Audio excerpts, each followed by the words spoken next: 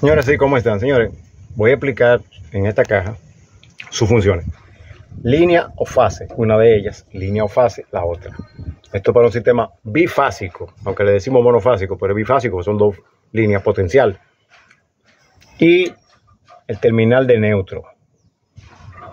No a tierra como lo tenían de aquí hacia ese terminal. No, no, no. Realmente va de ahí a este otro terminal que está aislado. Que aquí va el neutro, entonces neutro de salida, que ven ahí, que estoy señalando, hacia la casa.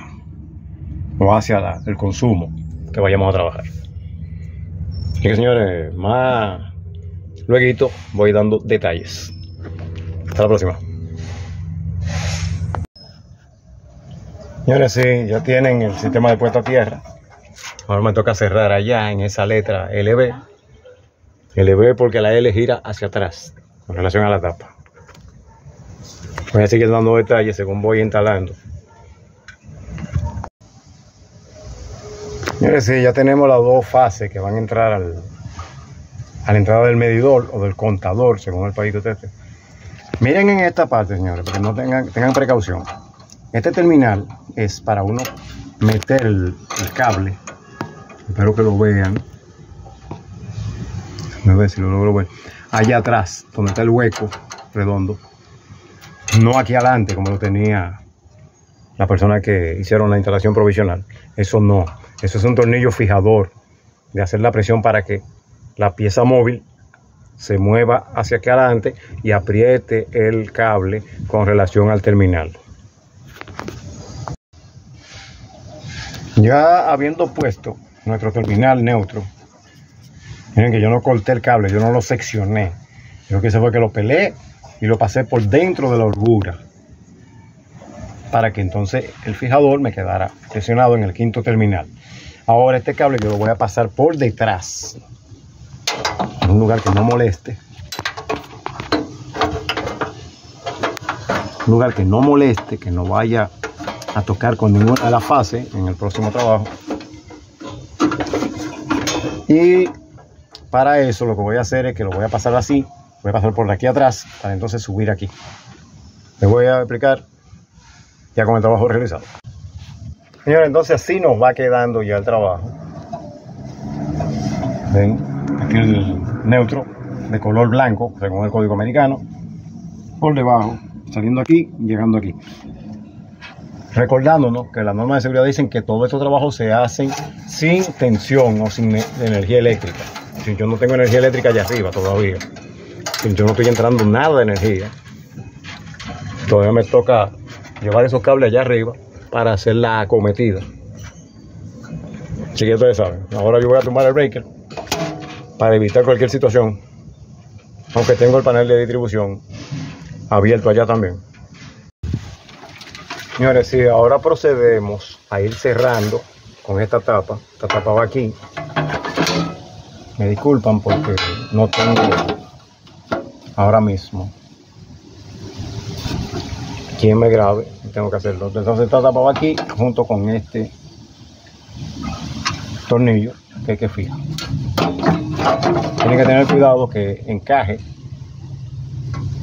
la charola, los bordes para que pueda el tornillo llegar a su sitio. Si no, tienen entonces que forzar el sistema.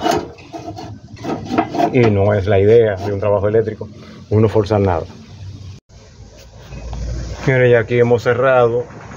Entonces ahora hay que poner esta tapa, que es la que cubre completamente donde ve el breaker, pero no se va a poner ahora, porque hay que hacer unos jumper aquí. Después de hacer la cometida ya para medir aquí si el 220 está llegando bien o el 240. Señores, si ya habiendo hecho la cometida allá arriba, venimos aquí y verificamos que el contador esté en trabajo. Para lo cual miramos que arriba en ese número grande nos está diciendo el bateaje que ha consumido. Y aquí nos está diciendo el voltaje aquí abajo. ¿Lo ven? Chequen, ahí dice on. Que cuando vuelve y sube 250 voltios que son 240 en realidad, pero está marcando. Eh, entonces destapamos, procedemos a destapar aquí y medimos la entrada de los breakers antes de alimentar el sistema a donde llega.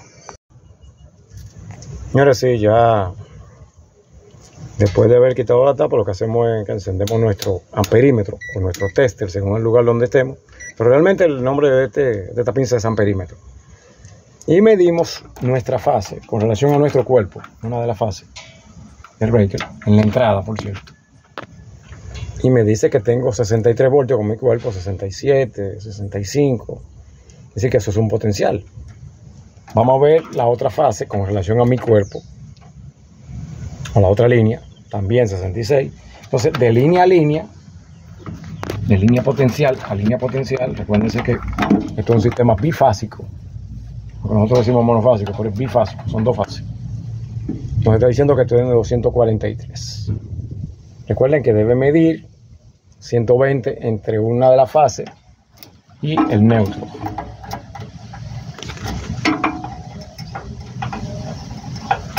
Y el neutro. Ven, 121. Con relación a la otra fase, 121 también. Ahora, de neutro a tierra, no debe medir nada.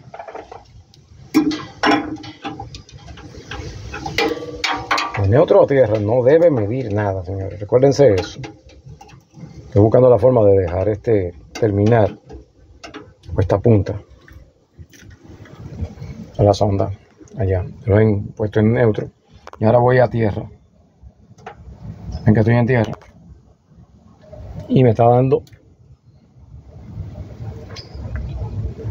0.61 voltios. Es decir, menos de un voltio. Yo tengo la tierra perfecta. Si fuera tierra, con relación a potencial, también debe darme 120 voltios aproximadamente. En 121. Es decir, que mi tierra está en cero. Entonces, señores, este video, si les ha gustado, denle like, suscríbanse a mi canal, activen la campanita y ya ustedes saben, espero su comentario en la caja. Hasta la próxima. entonces, entonces, señores, lo que hacemos ahora es que verificamos qué voltaje nos está llegando y si las líneas no están inversas en nuestro lugar para que no lleguen a cosas como no es a la residencia, la casa, al lugar donde vamos a trabajar. Recuerden que las dos fases son donde están los fusibles en este tipo de caja. Y me está diciendo ahí que yo tengo 242 voltios. Vamos a ver qué me dice.